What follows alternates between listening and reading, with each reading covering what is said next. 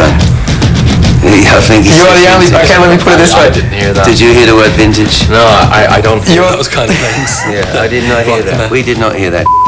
You're the only band with such a great legacy. Um, he just said the word legacy. Break his legacy.